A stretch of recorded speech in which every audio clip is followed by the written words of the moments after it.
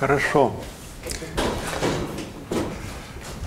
Значит, э, сегодня мы будем работать вот с этим уравнением, уравнением Бальского-Ковчегова. Вот, мы его в прошлый раз вывели, честно так. Вот. Но сегодня мы э, будем его линеаризовывать вот таким образом и будем решать линейное уравнение. А, а нелинейное, значит, мы в следующий раз будем решать. Вот. А, для начала, а, что касается линеаризации. Значит, мы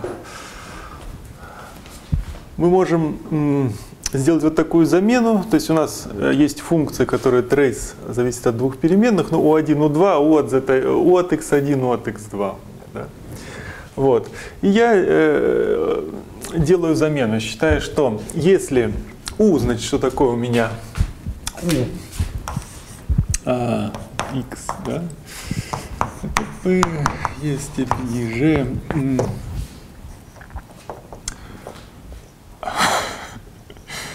Так. Э, да так вот.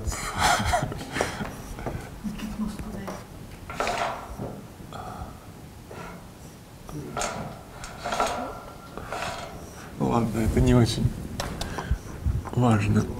Не помогает. Вообще, что ли? Разговаривай. Ну, открой до конца. Тогда я вообще написать не смогу ничего.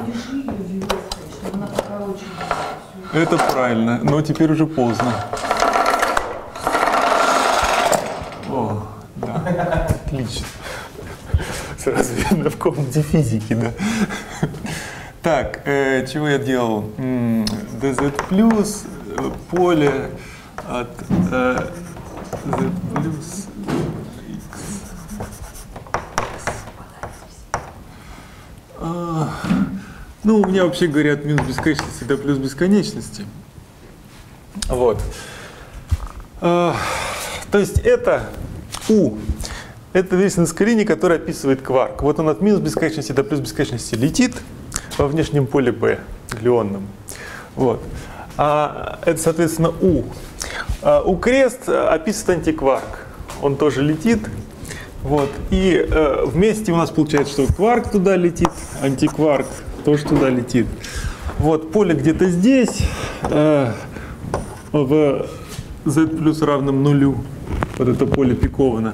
То есть у нас, э, скажем, был фотон, родились пара кварк-антикварк, они летят, вот это поле, это внешнее поле вот ядра, через которое они пролетают, и они там дальше летят. Вот. Э, хорошо, это, это, соответственно, быстрота. Вот. Э, теперь а, у у нас, а, так как это некая экспонента, то, скажем, а, при малых полях она близка к единице. Если у нас тут две единицы, след двух единиц n, соответственно, единица минус n это 0. Да? Поэтому при малых полях у нас вот это вот v так будет маленькое. Э, и мы э, поэтому э, хотим при малых полях сделать линеаризацию по v. Здесь у нас будут члены там квадратичный v, линейный v. Вот квадратичный v мы пока оставим, а линейный v выпишем. В общем, я делаю эту замену сюда и получаю следующее. dv1,2 по d это у меня получается альфа s n π в квадрате.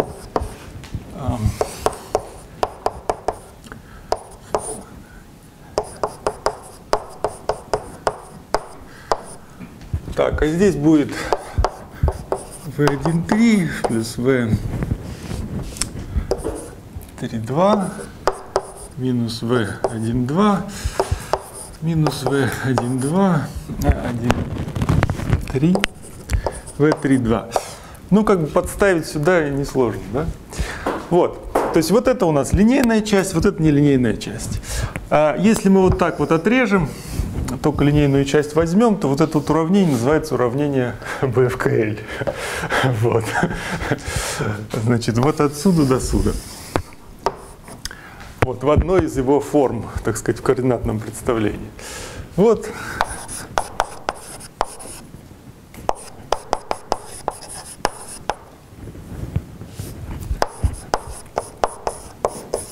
Ну, по физике это чему отличается? По физике это отличает малым v, как я уже говорил, да. То есть пока v малы, вот, э, и мы говорим, что v мало, соответственно, это у нас v квадрат мы пренебрегаем, вот. э, То есть у нас э, эм, глюонов мало достаточно, вот. И э, мы не учитываем их взаимодействие, их э, э, то есть э, вот этот кусок уравнения о, он нам говорит, что вот эм, число э, глюонов при изменении вот быстроты там, на какой-то шаг пропорционально числу глюонов, которое было, так сказать, на э, предыдущей быстроте. То есть, вот, да, Можно уточнить? Да. А вот еще раз, V1,2 это когда ты берешь вот этот оператор U1, U2, да. э, и 1,2 это, еще раз напомнишь, что? У x, вот это, э, ну, Ну, x1, это точка, да, точка. Но Да. ты просто напомни, где эти точки. То есть у тебя какие-то были Сейчас. на вот этой волне, какие-то до. Хорошо. Я не- Э, Идея была какая, что вот это вот поле, да, B, оно у нас зависит только, э, оно выглядит так. B от Z это, во-первых, у меня был вектор n2, μ, во-вторых, у меня была дельта-функция от z и какое-то там b от z перпендикулярно. То есть это поле ударной волны, как я говорил, во-первых, оно имеет только одну компоненту b. Я всегда могу такую калибровку выбрать, мы это говорили. Во-вторых, оно пиковано э, около z плюс равно нулю. То есть это отвечает тому, что наше э, ядро, оно сжато, лоренцовское сжато. Вот, и мы говорим, что вот, пусть у нас бесконечно оно сжато, оно превратилось в дельта-функцию. Вот. А в, поперечном, э, в поперечной плоскости вот оно летит, значит, вот оно летит, так оно сжато, а в поперечной плоскости оно какое было, такое и есть. Поэтому поле в поперечной плоскости, оно вот живет. И, соответственно, вот эта вот линия вильсоновская, вот она пролетает в какой-то точке поперечной плоскости с координатой z. Вот через это поле. Ну, то есть кварк пролетает через поле. Э, Кварк пролетает через поле, поперечная координата его z, или вот тут x1. Ну, я для краткости просто пишу 1, а не x1. Это поперечная координата. И летит он там от минус бесконечности до плюс бесконечности, поэтому мы интегрируем. Поэтому в итоге это вот э, u зависит только от одной поперечной координаты вот в ядре, через которую он пролетает. Вот. А, да, что я говорил. Хотели-то понять, что такое U1, U2, вот это вот. Ты там просто, если я правильно помню, у тебя было несколько координат по оси Z. Вот они. Вот, значит, летел, скажем, фотон, распался на кварк-антипарковую пару. Вот У у меня трейс У1, У2 у меня вот там стоит, да? Соответственно, вот это вот у меня x1, вот это x2. Вот. Э, x1, x2, тут где-то ядро, значит, э, откуда там я меряю x1, x2, да? Вот. И эм, ну, собственно, все. Так как у меня э, это, я считаю, бесцветное состояние, то у меня след. Вот. Ну ладно, а теперь тогда 3. Это что такое? Три это глюон. три. Я А, излучаю из глюон. этого глюон. Вот, и где-то у меня есть x3. А если глион э, не пролетал через поле? А если глюон не пролетал через поле, то у меня x3 нет. А, что у тебя что нет? x3. То есть вот этот кусок, условно говоря, содержит те части, когда глюон пролетал через поле, у нас есть глюон. Вот, а здесь у нас, э, так сказать, глюона нет. Вот. Ну, в смысле, он, он есть, но он через поле не пролетал. Он да? через поле не Это пролетал. переменное интегрирование уравнений. Хорошо. Спасибо. Вот. Э, Ну вот, то есть мы, ну, ровно это мы делали в прошлый раз, как мы его выводили, глюон пролетал, глюон не пролетал, там и так далее. Вот. А, Значит, э, смысл вот этого уравнения, что, грубо говоря, вот у нас есть некий глюон, ам, значит, некая линия, с нее слетел глюон, вот, а, он может испустить дальше глюон, испустить дальше глюон и так далее. И э, число глюонов, вот э, каждый из этих глюонов имеет, э, значит, скажем так, мы смотрим нашу картинку вот затягленных на какой-то быстроте, да, это. Мы говорим, когда мы делаем шаг от это плюс дельта это, число у нас глюонов э, пропорционально числу глюонов, которые были на быстроте это. Вот, это линейное уравнение. Вот. Если глюонов очень много, у нас получается, что оно э, имеет э, член, который э, пропорциональный числу глюонов, а также член, который, э, грубо говоря, пропорциональный квадрат числу Можешь еще раз глюонов. объяснить, каким образом связана быстрота и число глюонов? Ну, у нас они зависят от быстроты. Это так. Вот.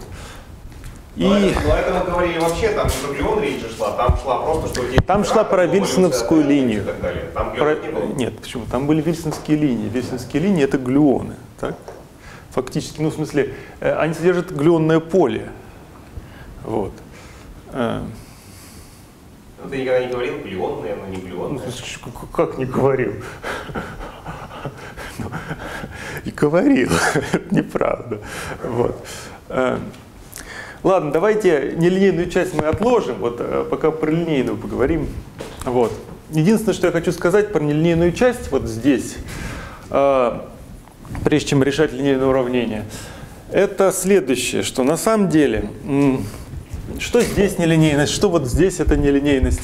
Э, Мы э, будем искать матричные элементы. Это у нас какие-то там операторы, мы будем искать матричные элементы от них. Вот. И это у нас какой-то бесцветный оператор, вообще говоря, трейс, да? Вот.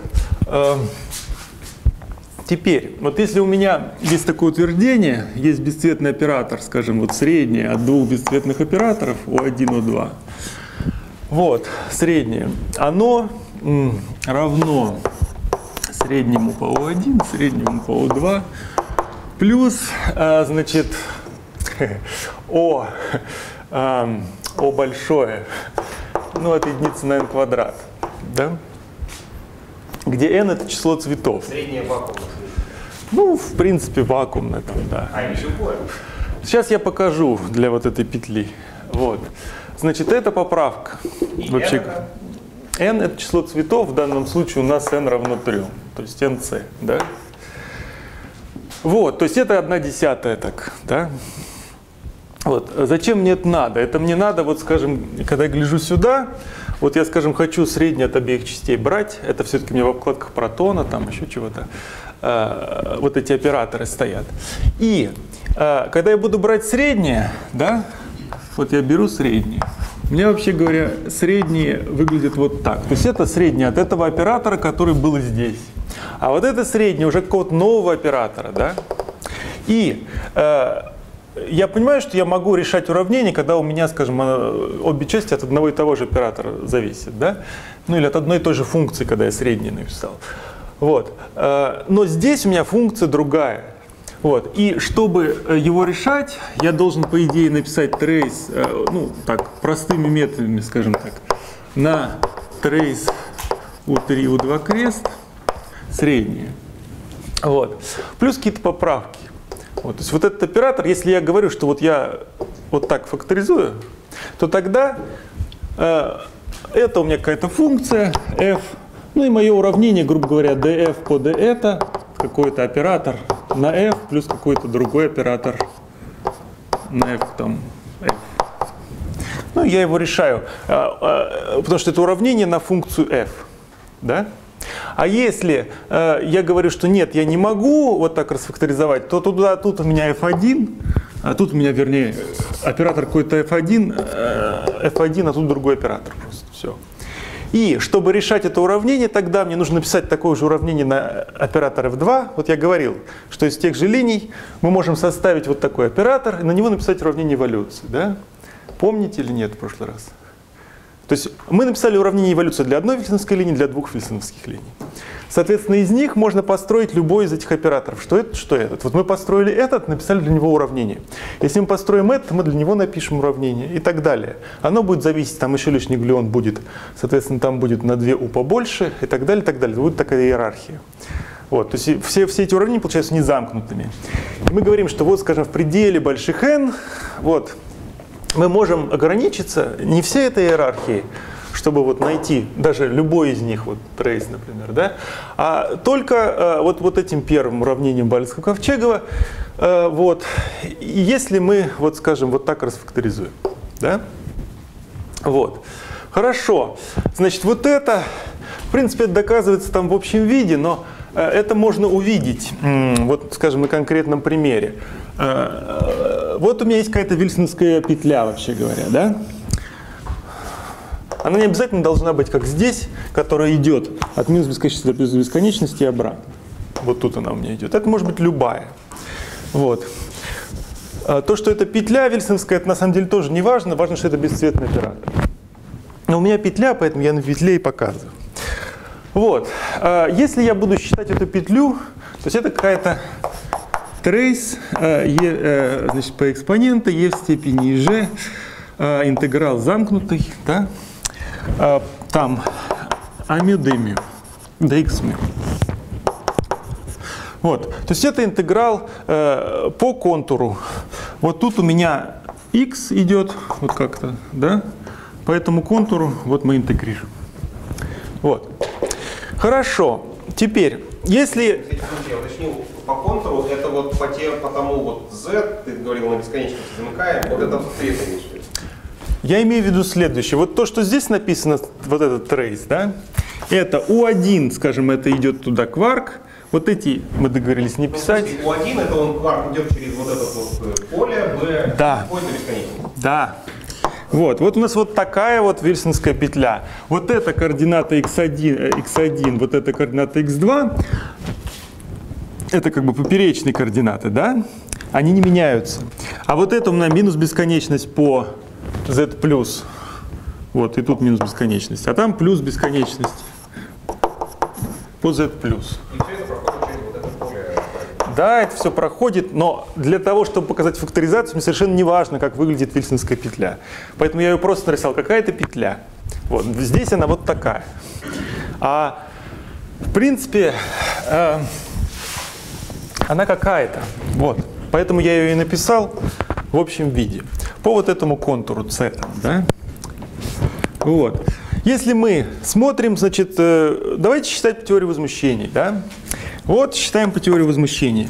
Э, Первое, что мы говорим по теории возмущений, о, значит, первый член разложения все экспоненты единицы. Это единица, да, вот тут стоит. След единицы это n, да? Вот. След единицы это n. Хорошо. Э, Считаю дальше по теории возмущений. Э, Значит, разлагаю эту экспоненту. Так? Э, Ну, когда я один раз разложу, мне ничего не будет. Первый неисчезающий член будет, когда я дважды разложу. То есть у меня будет какой-то интеграл. Ну, хорошо, я напишу, да?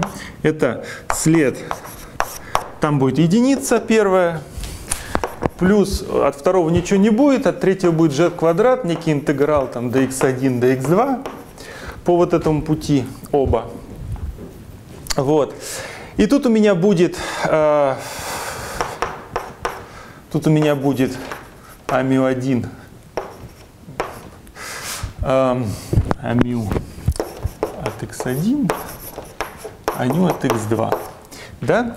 Вот, я их спариваю пропагатором, все честно, вот где-то здесь тут x1, тут есть x2, все, и, собственно, вот это я посчитаю, будет какое-то число. Спрашивается, какой будет световой фактор при этом числе. Вот, какой будет световой фактор? Вот тут у меня стоит TA, вот тут у меня стоит TA, да, из пропагатора. Чем ты их спариваешь пропагатором, они же у тебя просто как оператор сейчас Ну, как? Я говорю, я хочу вот это вот тождество доказать. Ты средний считаешь. Я средний считаю, да. Ну хорошо, я напишу. Да, я средний считаю. Ну, средний считаю, поэтому я спариваю. Вот. Значит, э, пропагатором спарил, тут у меня ТА, ТА и след. То есть вот эта штука у меня пропорциональна следу ТА, ТА. Да? Вот. Следу ТА, ТА. ТА, ТА это у меня оператор Казимира. Это у меня, значит, э, n квадрат минус 1 на 2m, да, на единичную матрицу, след единичной матрицы n. То есть у меня просто получилось, э, что вот это вот все у меня пропорционально n, да. Э, В смысле ТА, ТА? У тебя в одном случае стоит ТА, в другом ТБ. Ну так я спарил. Ну, спарил, получил дельта АБ. Э, так, что я не то написал? Сейчас. Э, по- получил дельта АБ. Ну, секунду. Почему? Ну, хорошо, вот у меня стоит отсюда ТА, отсюда ТБ, да? У меня ТА, ТБ. Вот. э, значит, ну хорошо. А, ты в глионный пропагатор, как, то есть нужно еще это умножить на дельта АБ, да, все, правильно? Ну да, А, ну хорошо, ладно, хорошо. Э, Вот. э, Хорошо. Хорошо. Хорошо. Но дельта АБ у вас из трейсинга телефона. Нет, э, дельта АБ из глионного пропагатора. Что? Значит, эм, значит, сейчас секунду.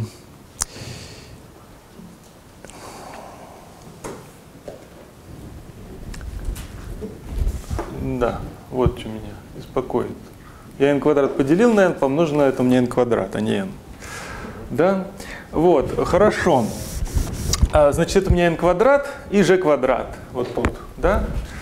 Хорошо. А, значит, вот э, если я дальше иду, то же самое дело, у меня будет 3а, да? Э, Когда я буду спарить 3а, э, ну, ничего хорошего не будет.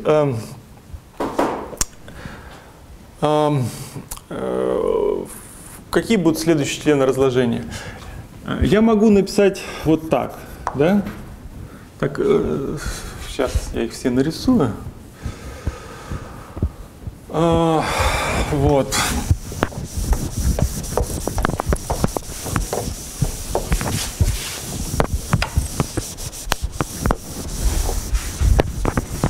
То есть у меня будет возможности. Значит, вот такие плюс, значит, эм, ну вот такие плюс ну, вот такие. Так, вот тут у меня в каждом по 4 вершины, да? Вот. Это следующий порядок. Вот тут они не пересекаются, они вот так лежат. Вот это у меня планарный диаграмм, вот это не планарный диаграмм. Соответственно, что я получу здесь? Я получу здесь след, я имею в виду цветовой э, множитель. А, вот это у меня будет, э, я иду по Вильсонской линии, ТА, ТА, ТБ, ТБ, да? Вот тут. Вот. Здесь у меня будет след, скажем, ТА, ТБ, ТЦ. Из вершины у меня будет FABC. Вот. А что у меня будет здесь? Здесь у меня будет след ТА, ТБ, ТА, ТБ. Да? Сейчас. В Понимаете? первом случае ТА, ТА, ТБ, ТБ. Потому что я иду по Вильсонской линии, по следу, да? Вот, у меня тут А, А, А. Б, Б. А, кстати говоря, а у тебя же там было, да, везде, ты как там упоминал про, про вот этот П, да? То есть они у тебя же еще упорядочены. Так вот я и говорю, что я иду по линии. Вот. Э, Значит, опять-таки, если я хочу посмотреть, чему это все равно, э, да, то у меня получится, э, здесь у меня оператор Казимира, это у меня, значит, э, он мне даст n, на, на единичную матрицу это мне тоже даст n на единичную матрицу. И след мне даст еще одно n, да? Эм, И след мне даст еще одно n. То есть это у меня n куб получилось. А g тут у меня так, n куб, э, сейчас, g у меня в четвертой. Вот. Если я посмотрю сюда, то вот это у меня э, на самом деле что? Э, я могу написать тут, скажем, коммутатор по порядку величины, да, ну, в смысле, с точностью до константы. Вот, это у меня будет FABC на FABC, это у меня будет а, значит, n на дельта cc. Вот. а, Ну а дельта cc это у меня, соответственно, n квадрат без единицы. То есть опять n в кубе, да? Вот. А здесь, здесь у меня будет по-другому. Эм, Здесь у меня будет что? Ну, TA, TB, TA мы считали там когда-то на КХД, да? Это минус единица, э, что там на 2n, да? Э, ТТА, ТБ. Вот. И снова ТБ, ТБ это оператор Казимира. Соответственно, он мне даст n. Он мне даст n. Э, Значит, итого у меня получится минус единица на 2n на n квадрат минус 1 на 2n. Вот, и на след, который мне даст n, я получаю, соответственно, n. Да? Вот. То есть э, я вижу, что э, планарные диаграммы дают мне n куб, а непланарные диаграммы дают мне, соответственно, в n квадрат там раз меньше. Да? Вот, поэтому предел больших n, ну это я показал просто на примере, да, можно третий порядок, следующий порядок посчитать, ну и убедиться в этом также. Это можно сделать в общем виде, я еще раз говорю. Вот, эм, значит, что тут получается, что эм, я, скажем, в пределе больших n вот это все буду пренебрегать. Вот, считать только планарные диаграммы. Это можно развить целую диаграммную технику, как вот только планарные диаграммы рисовать. Вот, если интересно, я могу рассказать, но это как бы вот мало к этому относится. Так, э, значит, итого, вот наша вильсонская линия вот такая получилась, чему равна? n плюс g квадрат на, э, э, тут n был в какой степени? В квадрате, да? Плюс g в четвертой на n, э, соответственно, в кубе. Вот. Плюс и так далее. Вот. э, Общую формулу удобно писать по вот такой диаграмме, э, а именно, а именно, ну, каждый глион, ну, сколько, грубо говоря, здесь петель в такой степени n будет. Ну, это такое, это строго доказывается. Вот. Соответственно, у нас получится g э, в степени, скажем, э, 2k, n в степени, о, значит, у меня n в степени, сейчас, чтобы не думать, я просто напишу. g в степени 2k, n в степени k плюс 1. Вот. Ну да. То есть, э, ну раз, два, три, и э, я еще провел несколько линий, то сколько у меня петель? Раз, два, три, четыре, пять. На каждую петлю, ну кроме последней, у меня по, по два глюона, по, по, по, по, по два G. Да? То есть вот это общее, так сказать, общие члены разложения по n. Вот здесь если я взял какой-то бесцветный маточный элемент. Теперь, а если у меня их два? А если у меня их два? Если у меня их два,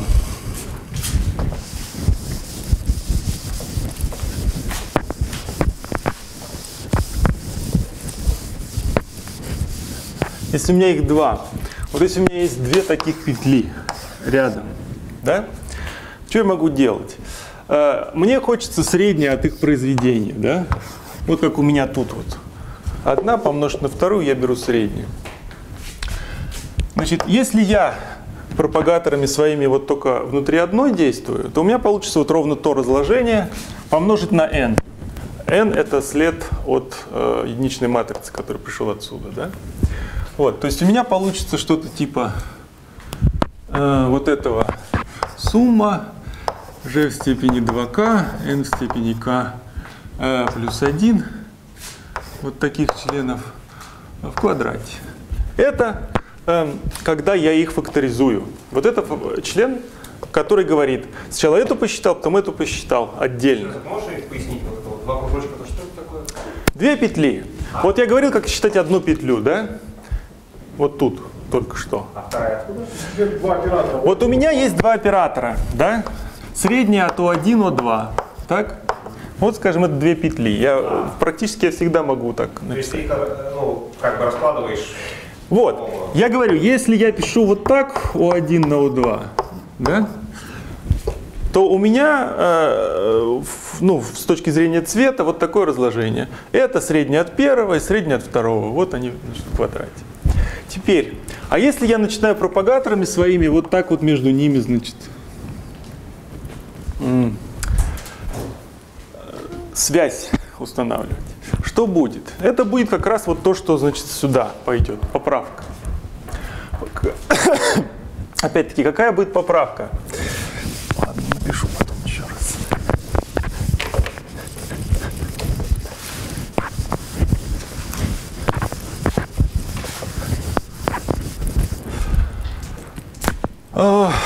Значит, поправка. Понятно, что с одного глиона поправки не будет, потому что тут стоит ТА, тут стоит ТА, след ТА 0, да? Вот, это у нас следы, вообще говоря, они из калибровочной инвариантности, то есть вот у нас есть два калибровочно инвариантных оператора, это, соответственно, следы. Вот. А, Первая поправка будет вот такая, да? Ну, это э, как бы, когда два пропагатора между ними прошло. Соответственно, вот давайте на нее посмотрим. А Какая она будет? Она будет а, след ТАТБ, ну, на след ТАТБ.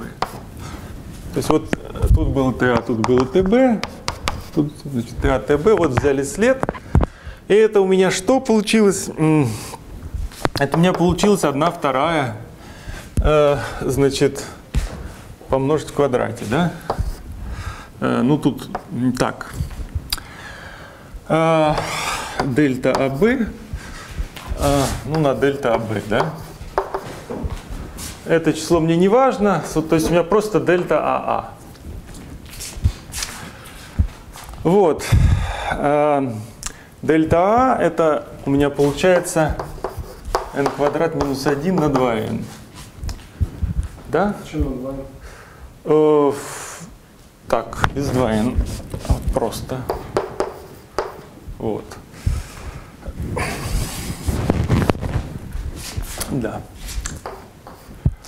Вот, это у меня n квадрат. А вершина у меня g сколько? Раз, два, три, четыре. То есть у меня получается, что это порядка g квадрат э, g в четвертой.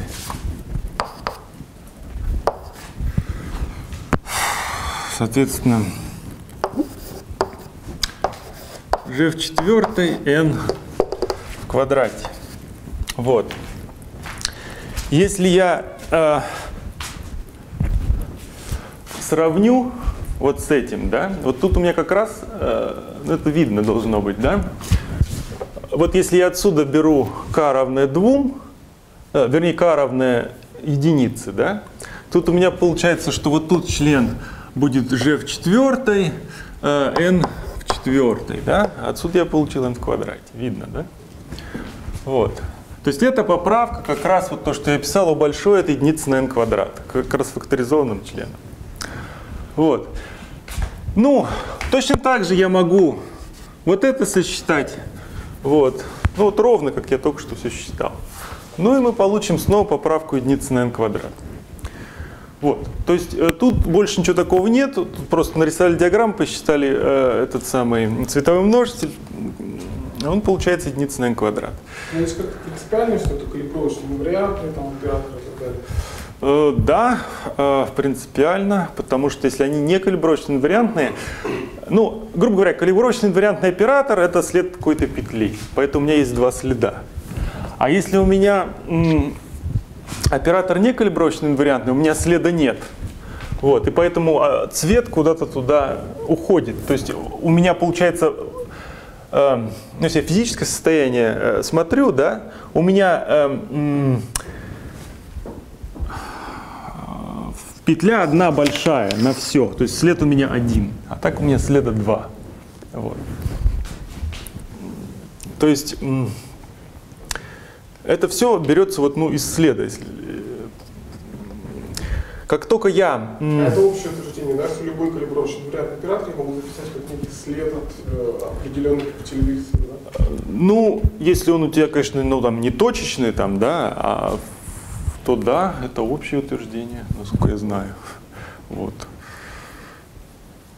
Формально, вот это единственное разложение, его можно получить из соотношения полноты.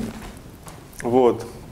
А именно, значит, у нас э, э, TA и G, TA, КЛ, да, это эм, дельта ЖК, дельта и L минус единица на 2n, дельта G, дельта КЛ.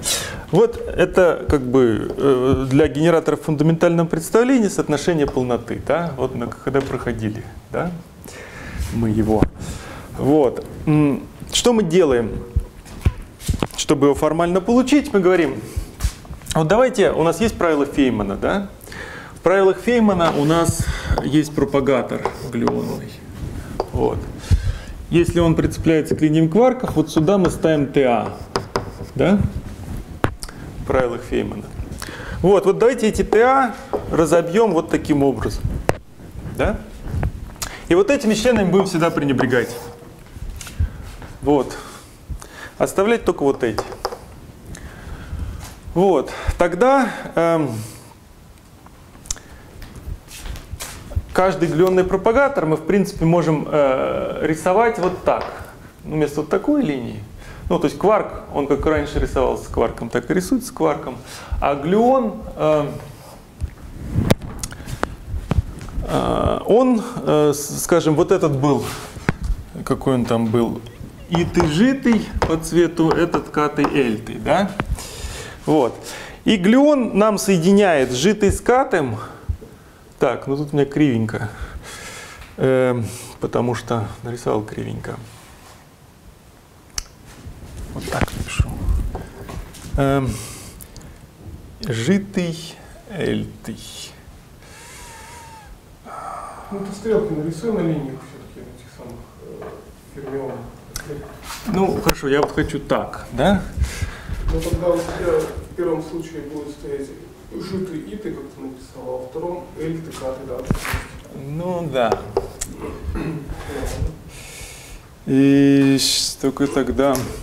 Ну хорошо, мне-то хочется вот так рисовать, а у меня почему-то наоборот получается. Почему? Да. Вот. Значит,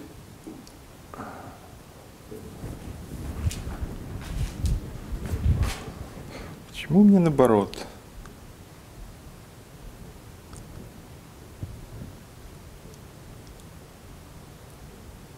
Неправильно, так не соединится, как если так написал. Вверх проверните стрелку. А, естественно, э, почему? Эм, Я хочу кварк-антикварк, да. Вот я так хочу. К. Вот тогда у меня будет так. Вот. И эм, если, скажем, у меня вот такая диаграмма, да, вот такая, то у меня получится следующее. Оп. У меня получится ну, этих цветовой, э, так сказать, множитель такой. Вот, опять. И я знаю, что это же у меня дельта-символы вот так вот эффективно нарисованы, да? Вот. А э, след каждого дельта-символа дает мне n. Потому что это дельта и и получится. Вот я их сворачиваю, да. У меня тут было дельта, э, соответственно, это тета, тут дельта это тета, тут дельта это тета, тут дельта это тета. Я их сворачиваю, у меня получается дельта и и. То есть на каждую петлю я получаю дельта и и. Это у меня n. Да? Вот. Поэтому э, я просто могу сразу сказать, э, какая у меня будет, какой у меня будет цветовой множитель для вот какой-то такой диаграммы. Он у меня будет такой же, так как для борновской диаграммы, помножить на n из вот этой вот петли. Вот, а если я значит, их вот так сделаю, то у меня n не будет. Кого ты как сделаешь? А, сейчас. Значит, я сделаю вот так. Да? Вот, если я сделаю вот так, то что у меня получится, когда я буду рисовать?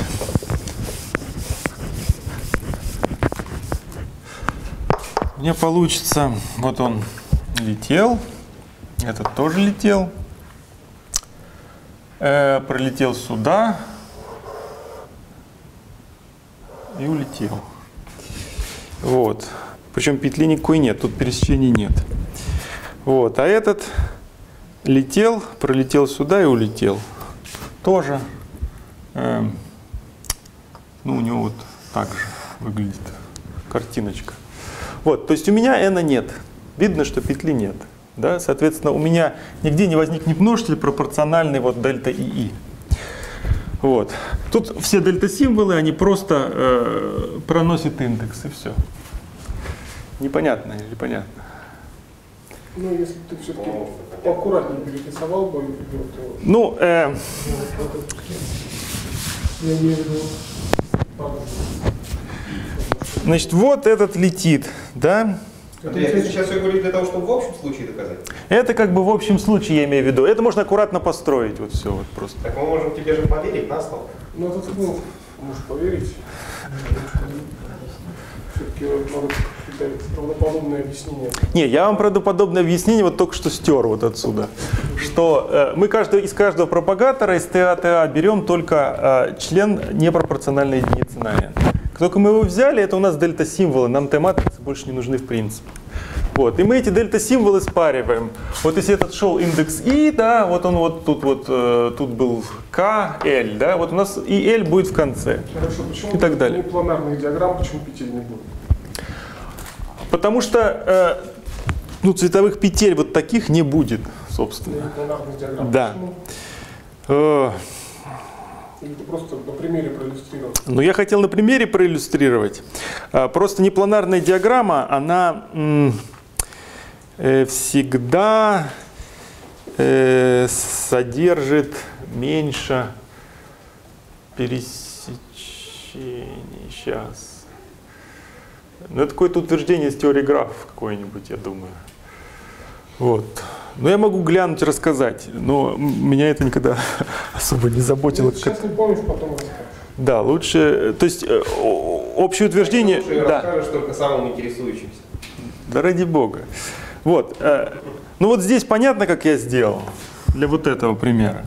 То есть у нас, э, ну у нас вот две вот таких, да, еще Ну, более ты, может, понятно. не поверх, а рядышком нарисовал. Я рядышком нарисовал, вам не понравилось.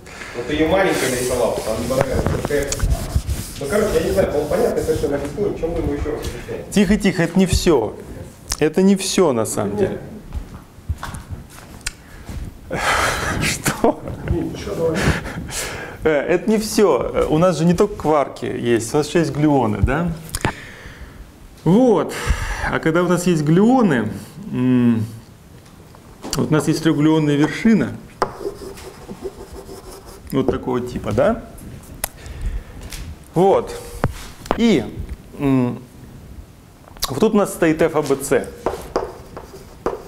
Вот если у нас А, Б, С, да? Вот это f, a, b, c, я вот тут вот только что где-то это вот писал, да? Мы можем представить как вот след вот таких вот Т, да? То есть b, c это там что-то там 2i или 1 вторая и на вот этот след, да? Вот. И, соответственно, э, у меня, получается, появляются тут TA, TB и TC сразу, Т-генераторы. Я с ними поступаю точно так же. След у меня э, говорит мне, что они все будут свернуты. Вот. В итоге, вот тут у меня стоит трейс TA, TB, TC с коммутатором вершине. Вот. Тут у меня, значит, э, э, стоит, соответственно, TA, где-то там. из кварка, из какого-нибудь, да, или из такой же вершины. ТБ, ТЦ. Вот. И опять, по тому соотношению полноты я все спаривания, ну, Т с одинаковыми индексами переписываю через дельта-символы, все раскрываю, и в итоге у меня получится, что вот оттуда, э, ну, глюон это у меня двойная линия, как бы, да, э, вот, э, у меня вклад в вершину будет вот, вот такой. Ну, на самом деле, э, так там коммутатор, их будет два.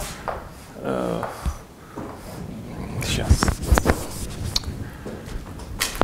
Вот такой и ну, перекрученный там в одном месте какой-нибудь там. Сейчас. Как-нибудь вот так. Перекрученный. Но э, этот никогда не будет, опять-таки, давать вклада. Ну, если расписать, это можно увидеть. Вот. И в итоге мы вот вершины оставляем такими. С четырехглионной вершины то же самое можно сделать. И опять-таки, э, идея в чем? Что э, взять каждую вершину, поставить Т-матрицы, раскрыть их все по соотношению полноты, выкинуть члены единиц на n. Вот. После чего э, вы цветовые э, эти самые э, множители можете определять вот из таких картинок. Вот сколько петель, столько и n.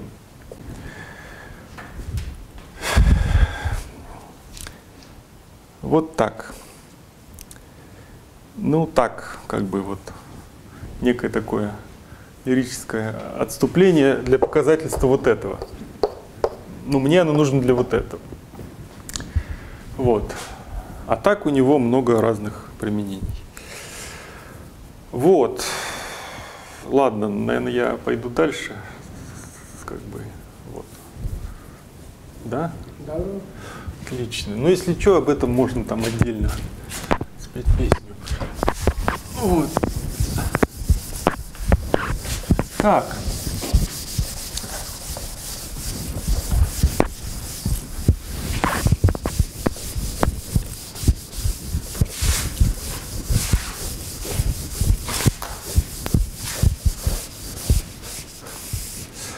Значит, э, уравнение БФКЛ. Да? Значит, dv1,2, куда это? Это альфа s на n. Пи квадрат. d x3 с 1 до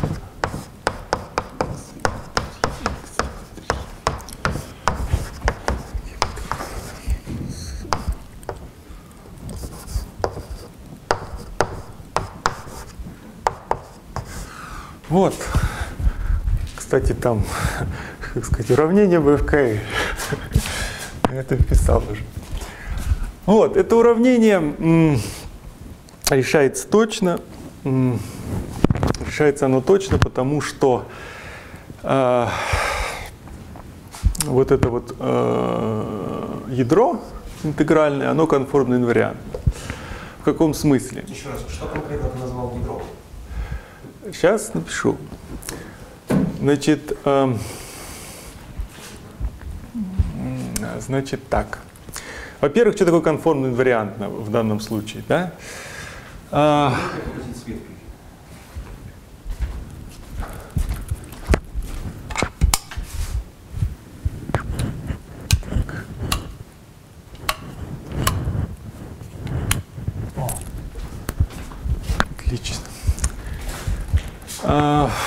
нашем случае это инвариантность относительно дробнолинейных преобразований, то есть если у нас есть а, z как комплексное число, да, то z переходит а, так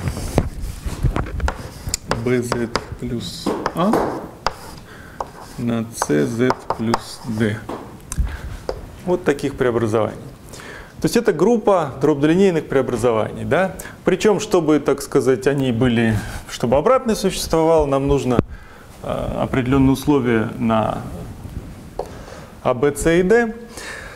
Вот, э, а именно, э, значит, сейчас я соображу, э, ну, скажем, там АД, наверное, минус BC, ну, не равно нулю. Но я всегда могу нормировать, у меня будет единица. Вот. Э, теперь, э, эта группа, ну, это группа, да, там обратно есть, все, все дела, значит, э, есть. Это мы показывали на ММФ там на третьем курсе, я думаю. Вот. А, теперь, а, эта группа тропно-линейных преобразований, она на самом деле ну, изоморфна группе а,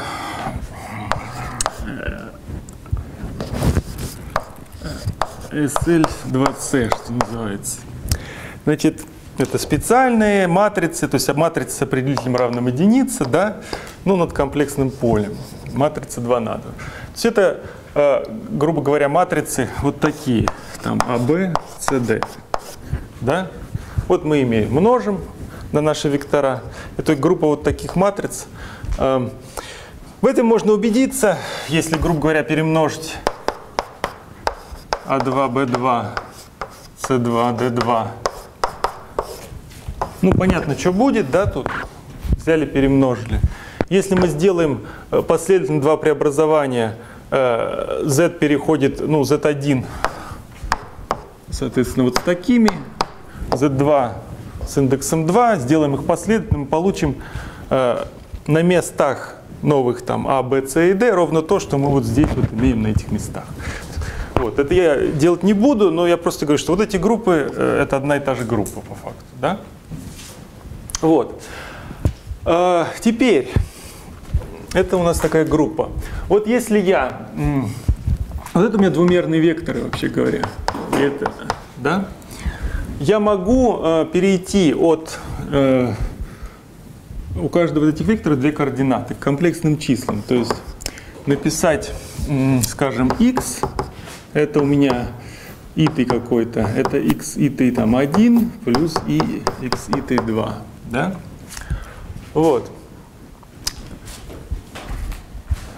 Или ввести вот так, что у меня есть x, который это x, да, и x со звездой, который x и t1 минус и x и t2.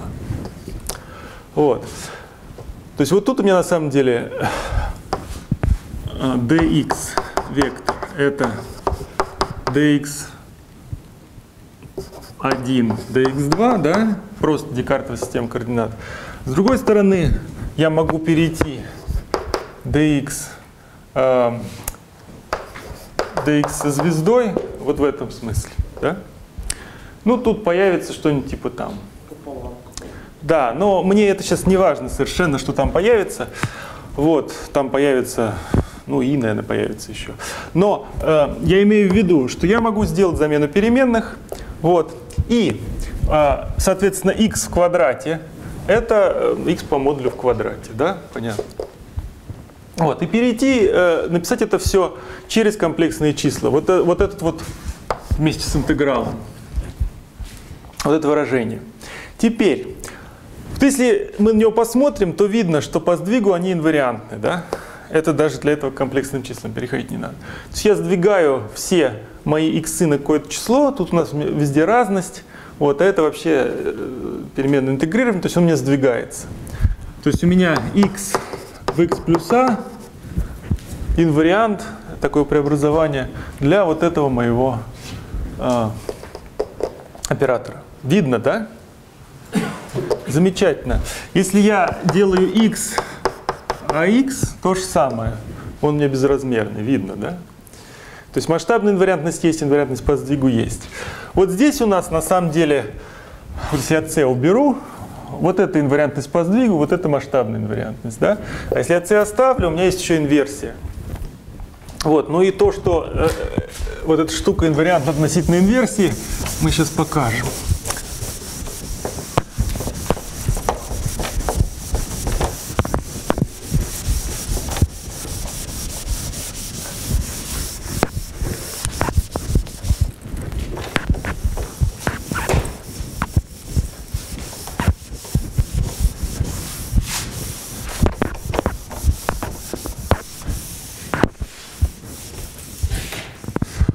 Значит, э, ну у меня везде разности здесь, да?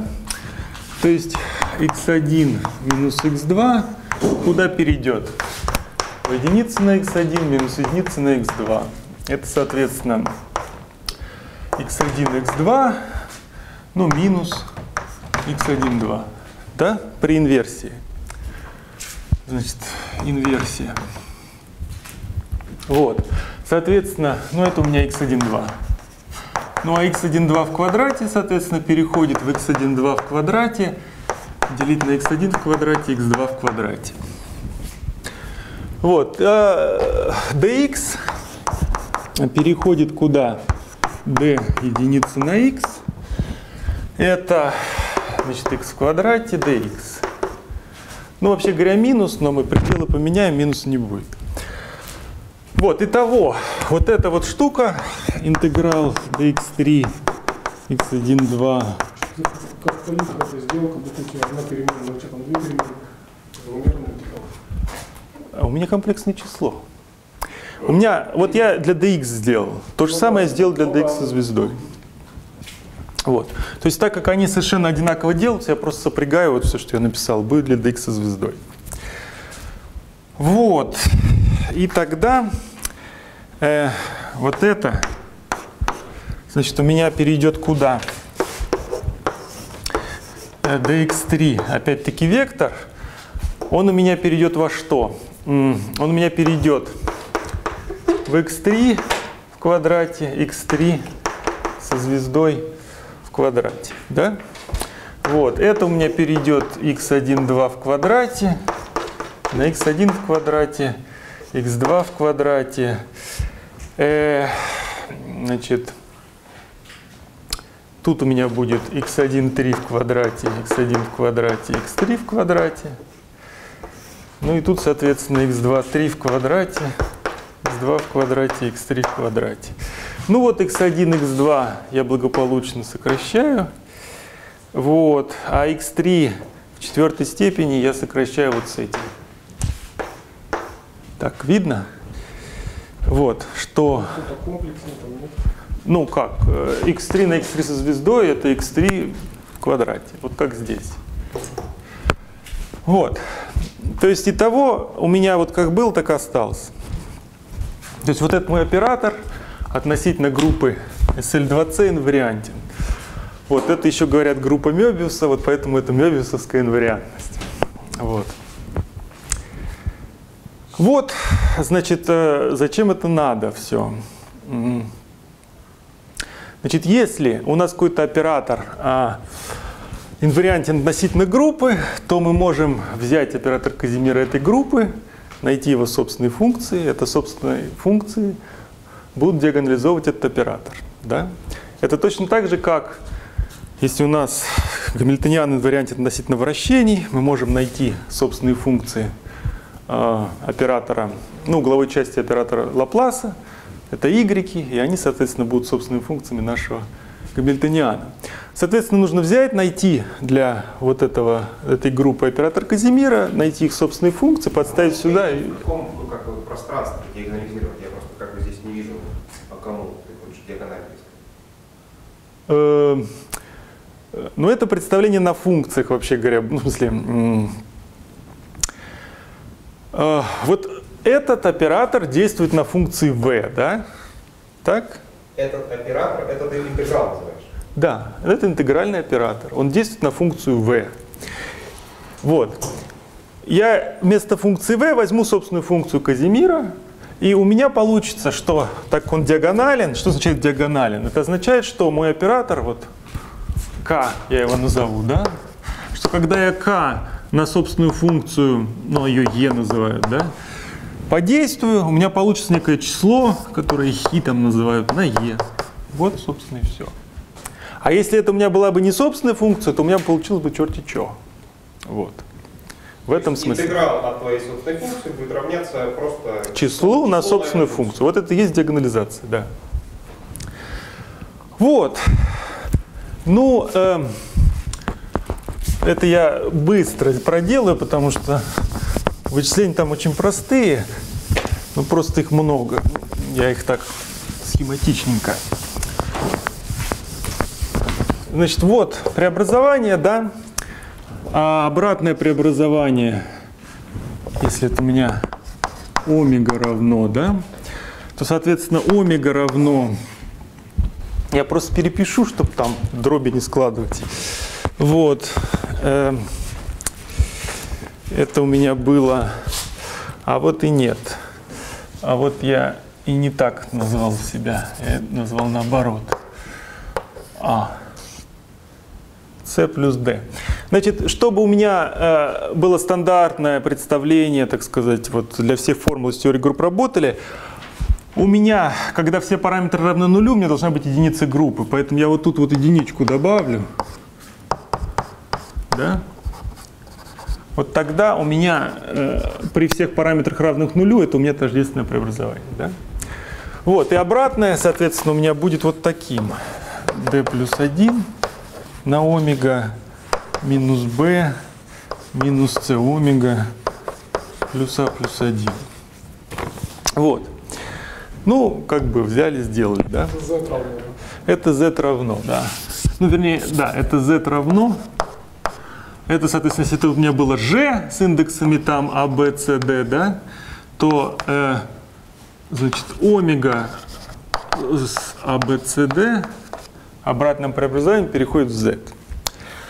Вот. И что такое оператор Казимира? Это некая комбинация э, генераторов, да, которые со всеми ними коммутируют. Соответственно, нужны генераторы.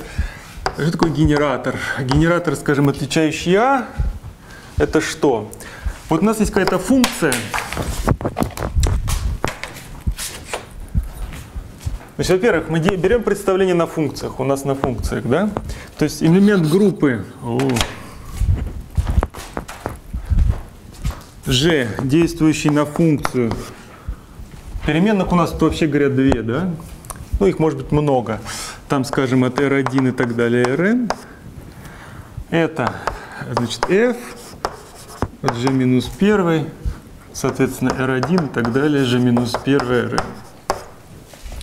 Ну, у нас две. Вот, э, опять-таки, моя функция от э, комплекс от э, вектора, да, я ее могу написать как функцию от x, x со звездой. И на каждый будут действовать. Вот, генератор тогда это что? Это d по dA от g, соответственно, f, как в нуле. a равно b равно c равно нулю. Вот. Это генератор. Действует на f. Ну, первый я напишу сейчас, как он действует. Э, соответственно, что у меня получается? У меня получается d по dr и t, вот каким, сколько их там, да, от f помножить на d r и t по dA в нуле, вот в этом. Причем я беру обратное преобразование. Ну, когда я беру d вот это по dA, да, у меня получается, э, что у меня получается? Значит, у меня получается, э, у меня получается d плюс 1 на омега минус b минус c омега плюс а плюс 1 в квадрате. И это все в нуле. Вот. Эм, да, вроде так. Это все в нуле, соответственно, это мне даст омега просто. Ну, омега мое эритое. Вот, это равно, соответственно, r сумма по i, эритое, d по d эритое на f. То есть вот это, это мой генератор. Атый. И с минусом только вот тут вот, да? Ну, где-то минус надо написать. Так, понятно, как я получил генератор? Или нет? Хорошо. Вот я получил генератор, отвечающий А. Ну, остальные делаются так же. А, я их просто напишу.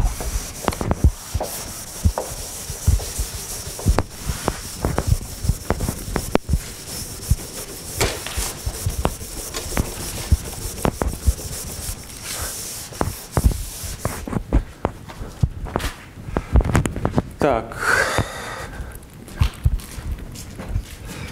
Значит, итого И атый это у меня минус сумма по и ри d ри. И бетой, значит, сумма просто d по d ри. Но это понятно, что b на самом деле то же самое, что омега, это просто сдвиг, да? b. То есть это сумма по и d по d ри просто.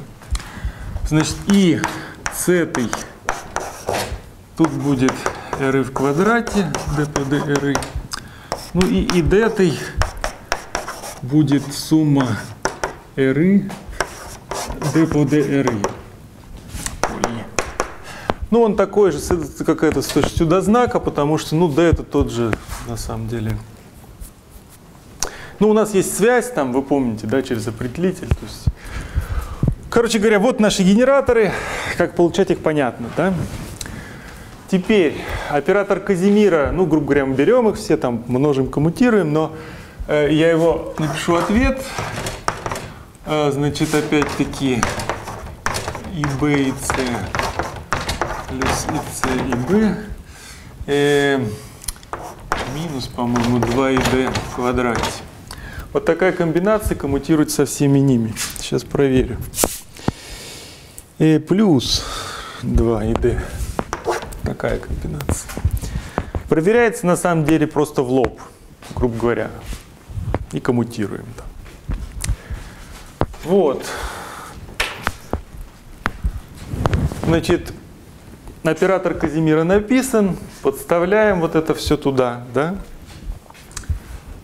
А что у нас будет? Ну и b и c у меня получится а, соответственно, сумма по И D по DRI Т, сумма по К РК Т, D по ДРК Т, плюс сумма по ИК РК Т, 2 по DRI Т, РК Т, плюс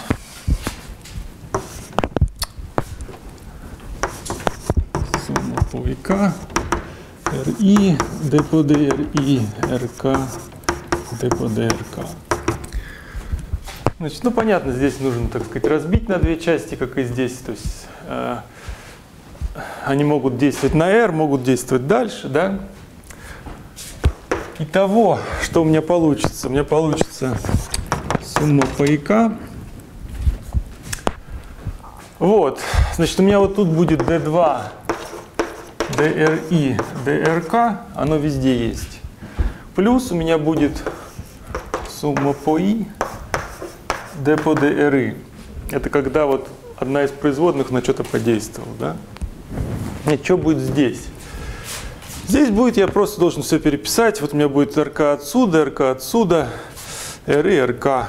Соответственно, 2 РК в квадрате минус R и РК. Вот, а туда я должен написать, когда я вот этим действую, значит, на РК, а, у меня получается, что это минус, минус, плюс, минус, сейчас. Может, я не то написал? Эхе-хе. Да, минус вот откуда. Вот отсюда. Соответственно, вот тут вот минус. Пардон. Вот, я просто помню ответ. Вот, э, теперь э, минус там есть, соответственно. Так, только наоборот тогда, вот так, да? Тут у меня минус раз, минус два, а тут у меня плюс. Вот, сюда, сюда, когда я буду вот этим на РК действовать, у меня будет 2 эры, да? 2 эры. Вот. Сюда буду действовать на РК, РК уйдет, тоже 2 эры. Видно, да? С другим знаком вот этого не будет. Вот. А это э, минус 2 я оставлю. А здесь, ну вот сумма по РК, все равно сумма по ИК. Я могу ее написать как 1 вторая, значит, РК квадрат плюс РИ квадрат. Вот здесь. Напишу, у меня полный квадрат свернется. Итого у меня получится сумма по ЭК, РК в квадрате d2 по dri drk. Вот оператор Казимира. Ну, минус 2 это не важно, а э, структура вот такая. А, ну да, тогда и минус 2 нет. Но я говорю, общий коэффициент меня не интересует. Все, оператор Казимира есть, значит его собственные функции надо написать бы.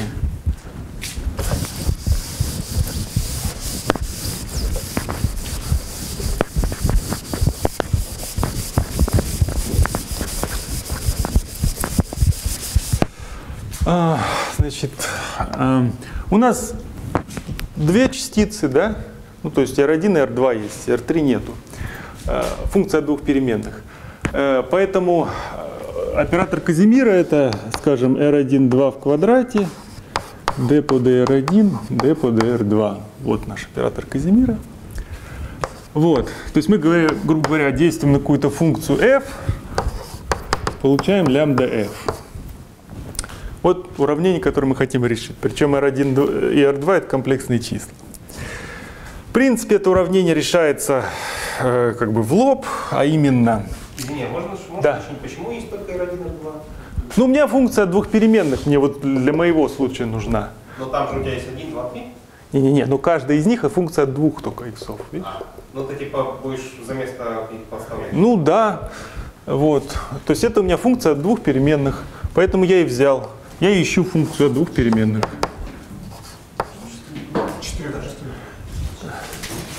На самом деле, э, Ну каждый R трехмерный.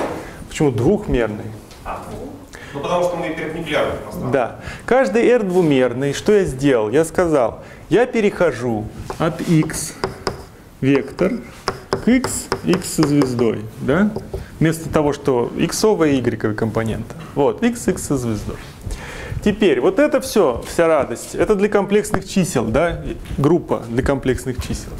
Поэтому мое v на самом деле зависит от x1, x1 со звездой, x там, ну v1, 2, да? x2, x2 со звездой. То есть оно зависит от четырех чисел, ну, переменных, да? Теперь я говорю, вот для x1, x2 моя группа есть, да? Для нее оператор Казимира вот такой. x1, x2. На самом деле, если я рассмотрю x1 со звездой, x2 со звездой, вот все точно то же самое, только все со звездой. Вот, поэтому вообще говоря, у меня два оператора Казимира, вот такой и вот такой. x1, 2 со звездой в квадрате, dx1, dx2. То есть функция у меня от четырех комплексных переменных. Вот. И э, если я забываю, что у меня вот эти два есть, у меня функция от x1 и x2, для них у меня есть оператор Казимира. Если я забываю про эти, у меня тоже, вернее, про эти, то у меня тоже есть оператор Казимира. Вот у меня два Казимира в группе. Вот. Такой и значит, комплексно сопряжен. Вот. Но так как они совершенно ничем не отличаются, кроме сопряжения, я вот с одним сейчас все сделаю, а про второй потом скажу. Вот. Поэтому функцию я буду искать как функцию x1, x2.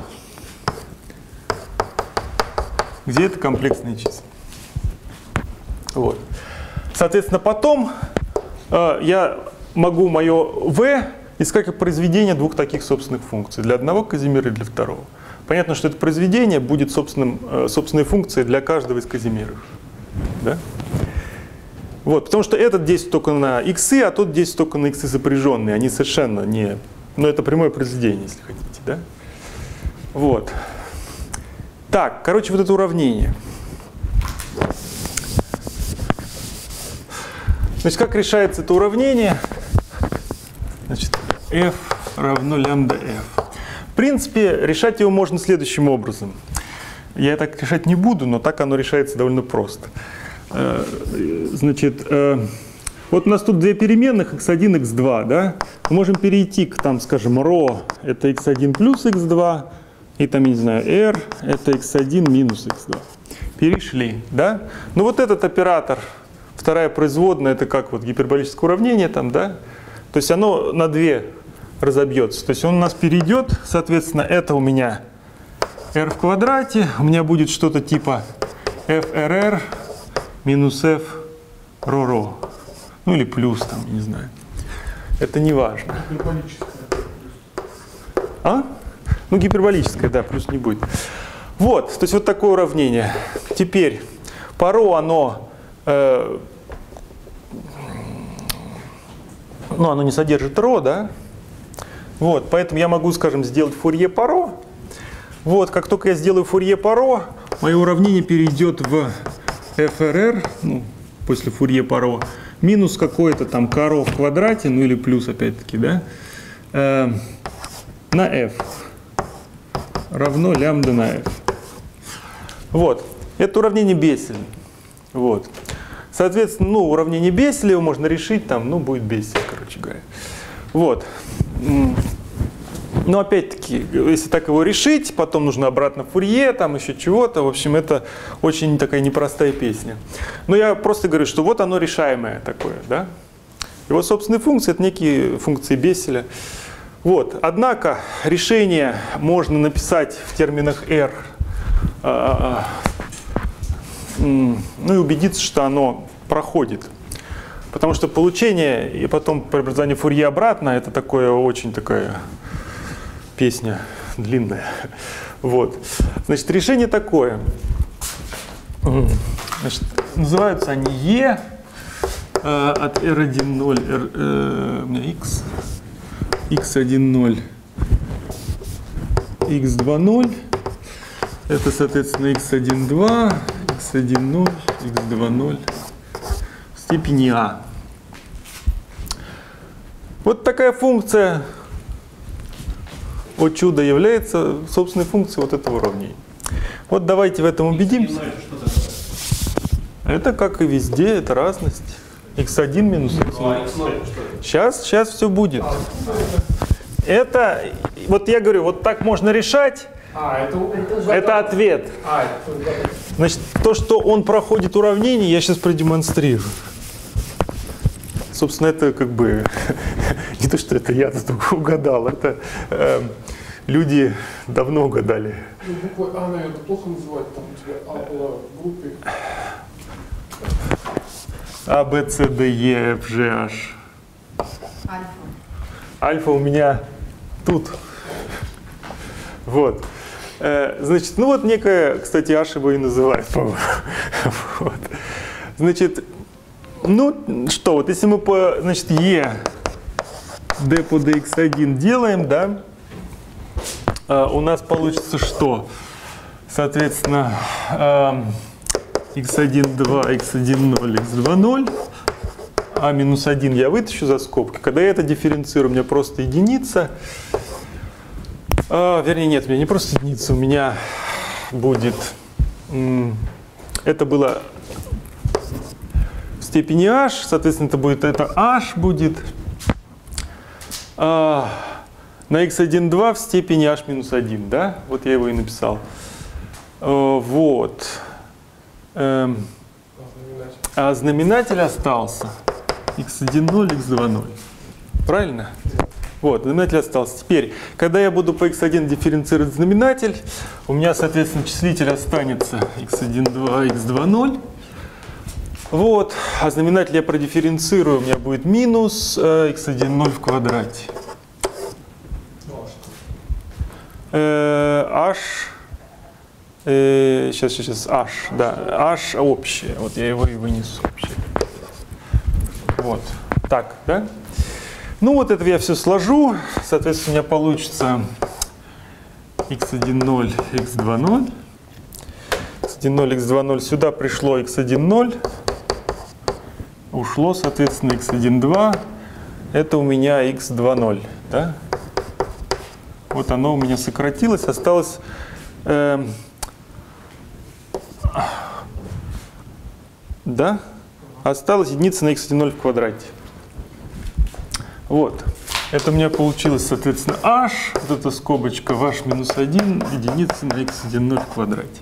Когда я буду по 2,0 дифференцировать, ну, у меня получится то же самое, потому что это константа, да. Единственное, что будет, это, что изменится, это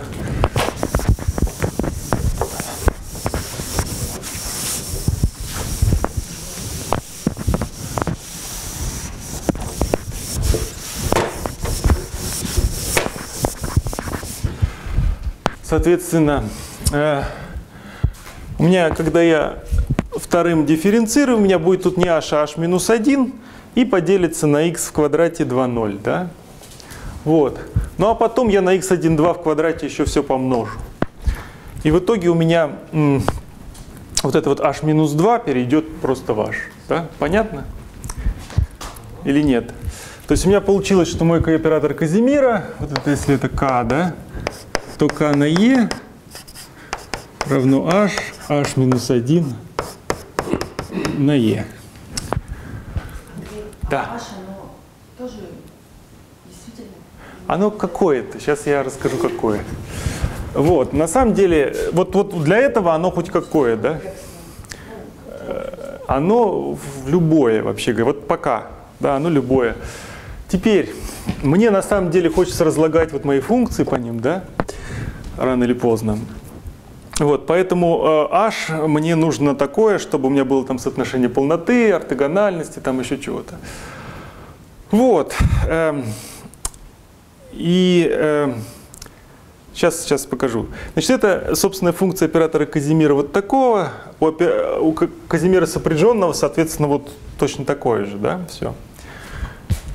И э, хорошо, если мы хотим собственную функцию обоих Казимиров, e, то она будет выглядеть как-то так.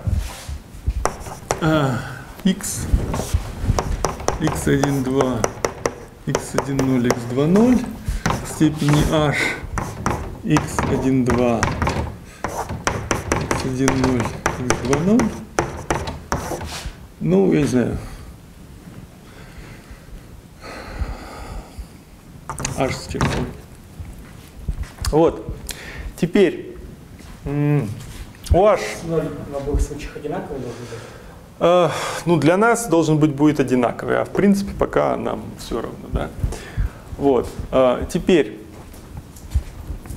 э, мы э, хотим как минимум, чтобы у нас эм, вот x, да, это комплексное число. У него есть модули фазы. Вот если я через модули фазу напишу, эм, то я хочу, чтобы у меня, вот я на 2π обошел, и чтобы у меня э, э, моя собственная функция не изменилась. Но физически мои вот эти, они э, не меняются, поэтому я и здесь хочу. Да? Вот, поэтому как минимум, ну, модули у них одинаковые, а фазы у них противоположные. Да? Поэтому у меня получается, что h минус h с чертой должно быть ну, n, некое целое число. Да? Вот, чтобы э, на 2π. А, Потому что это, еще раз говорю, какой-то модуль вот всего вот этого на e в степени и n фи. Ну и фи просто, да, я его в h возвожу, это и h фи. Это, соответственно, минус и h с чертой фи. Вот, я хочу, чтобы, а, а, значит, а, когда я обошел по фи на 2π, у меня, ну, не поменялись мои функции. Вот, вот это у меня разность есть. А дальше я их напишу следующим образом. Значит, вот это я напишу 1 вторая минус n плюс и ню 1 вторая плюс n плюс и ню. Вот это их стандартная а, значит, здесь ню действительное, n это целое. Э, Вот. Значит, э, то есть ню в этом смысле любое. Вот почему одна вторая. Э, На эти функции есть соотношение полноты и ортогональности, чтобы там все интегрировалось хорошо. Вот мы выбираем одну вторую. Вот я это, может, покажу еще. Значит, просто соотношение полноты для них довольно-таки сложное такое. Вот, оно мне, скорее всего, никогда не пригодится, поэтому я и не хочу его тут. Оно там. Вот.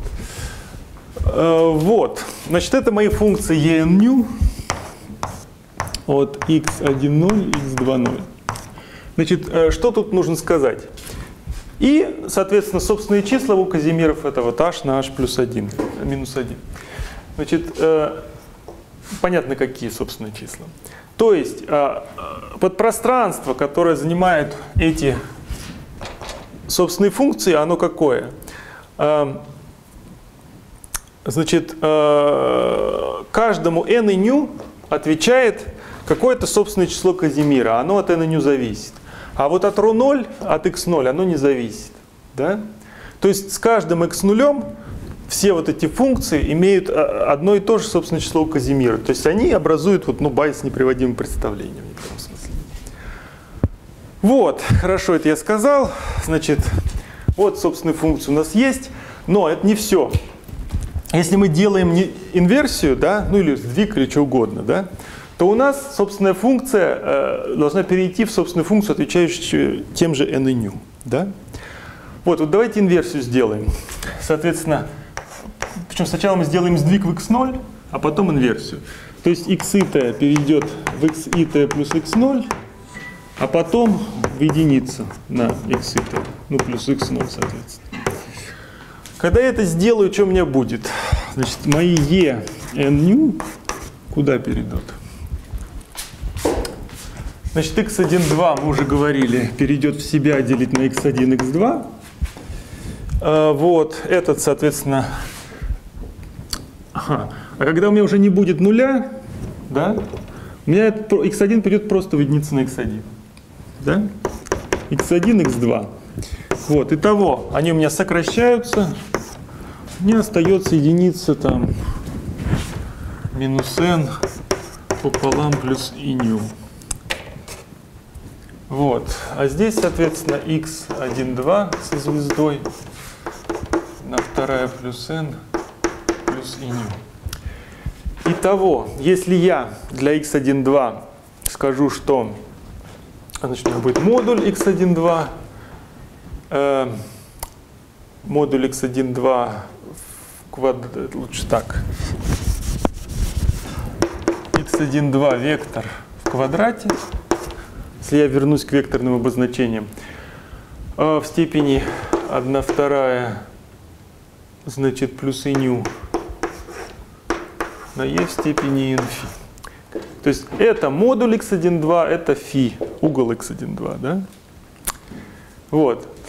Значит, фи это угол, то есть э, x1, 2 э, э, значит, равно модуль x1, 2 на e в степени фи. Да? Вот, соответственно, модуль его это э, длина вектора, э, а угол это на самом деле ну, угол вектора того же. Да? Отлично. Ого, вернее не отлично. Я думал, я проведу эту функцию через уравнение, а мы ее только получили. Вот, хорошо. Значит, э, и причем вот эта э, функция, она отвечает тому же числу для Казимира. Да?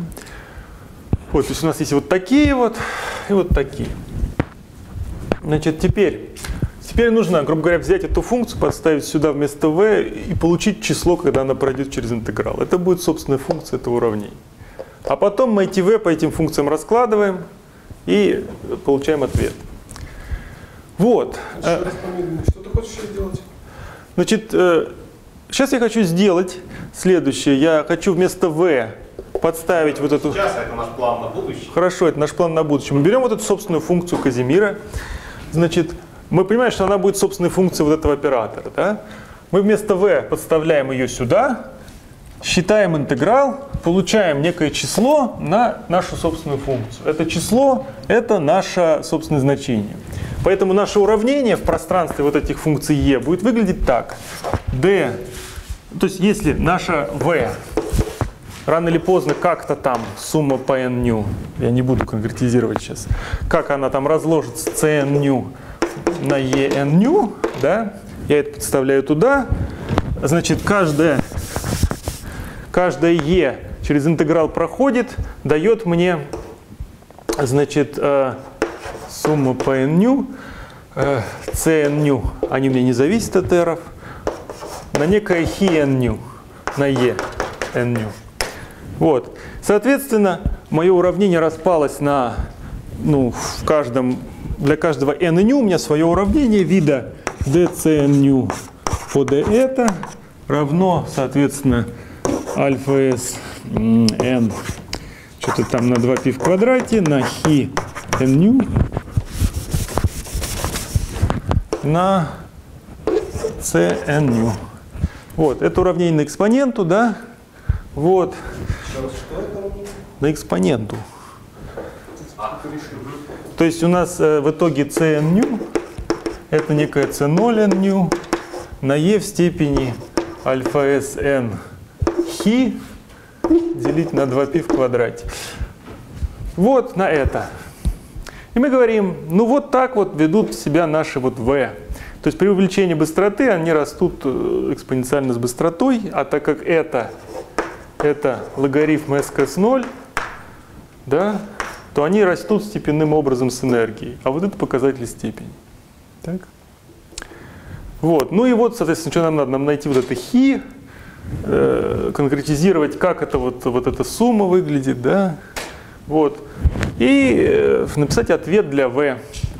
Вот, а если мы вспоминаем, что такое v, v это ну, некая функция Грина, да, и вот так она и будет расти с энергией. А вот тот член, который мы тут выкинули, соответственно, минус v на v, он должен вот этот экспоненциальный рост гасить, когда он станет большим. Но это, так сказать, продолжение в следующих сериях. Вопросы?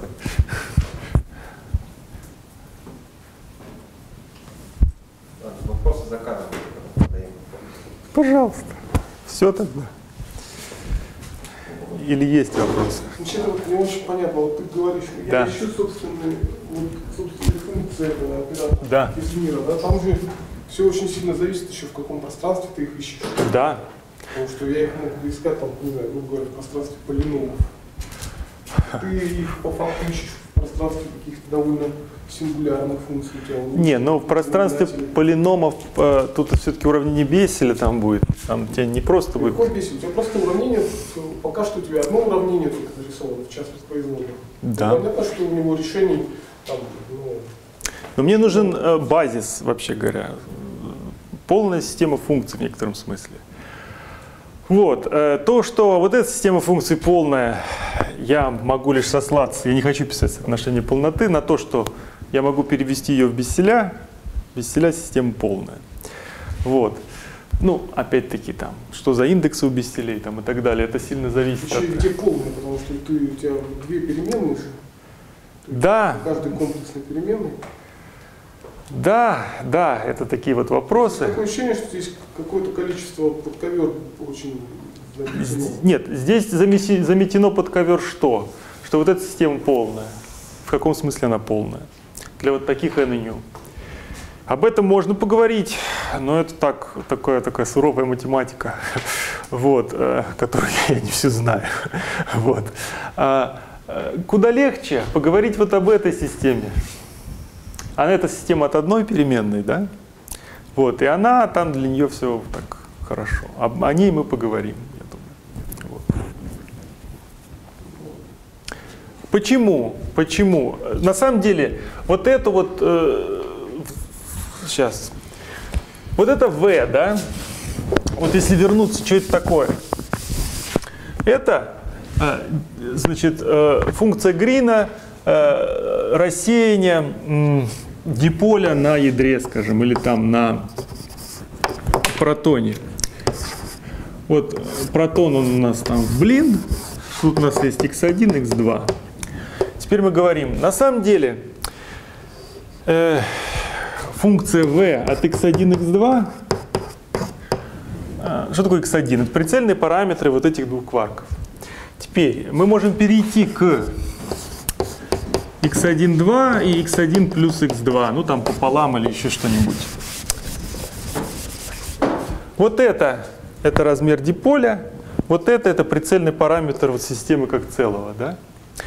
Вот. И часто очень люди э, интересуются тем, что вот ядро бесконечно большое, вот, зависимостью от этого мы пренебрегаем, вот, и мы смотрим зависимость только от размера диполя.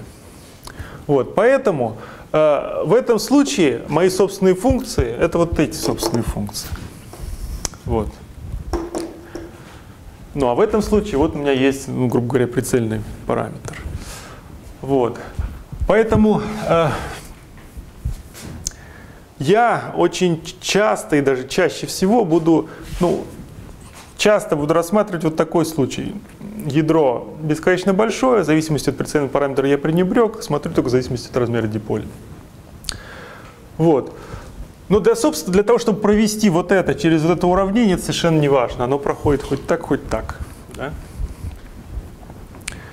Вот, но к тому, что можно ну, во многих задачах, вот это будет, грубо говоря, V для растения вперед, это V для растения на произвольный угол. В очень многих задачах нам достаточно иметь только вот такую систему, а эта система полна там и как надо. Вперед не. Потому что в зависимости от прицельного параметра системы как целого я пренебрег. Когда я буду делать фурье, у меня e в степени ip1, там x1 плюс ip2, x2, да? Ну, на f от x1, x2. На v от x1, x2. Если я хочу в импульсном представлении посмотреть. Теперь, если я Если я говорю, я вот тут могу, значит, сделать вот эту вот замену, да? И у меня эта экспонента перейдет во что? Нам мне перейдет e в степени p1 плюс p2, скорее всего, на x1 плюс x2 плюс и p1 2 на x1 2. Ну, с возможно, с какими-то двойками тут. Ну, то есть я все представляю как полусумму, полуразность, собираю. Ну, наверняка тут двойка будет. И тут наверняка будет двойка. Значит, и v у меня будет от x1 плюс x2, v от x1 2. Ой, просто. От x1 2. Вот, теперь я говорю, если э, d x1 dx2 ну или d сумма и d разность. x1 плюс x2 dx1 2. Вот. Теперь я говорю, э, я интересуюсь случаем, когда у меня полная передача равна нулю, да? Вот этого у меня нет. Так? Вот. Теперь, тогда этот интеграл у меня просто, вот этот интеграл у меня просто возьмется, так? по x1 плюс x2. Так? Ну и, и, все. И моя функция v эффективно э, ну, будет, э, останется только в зависимости от x1, 2. Вот как-то так.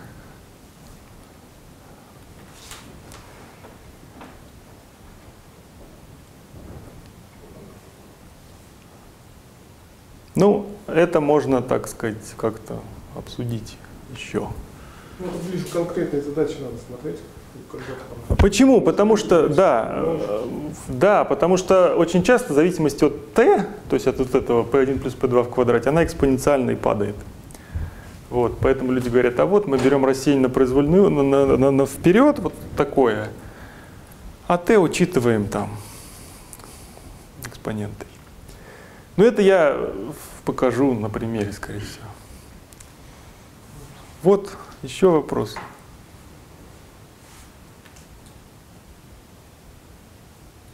Ну, все.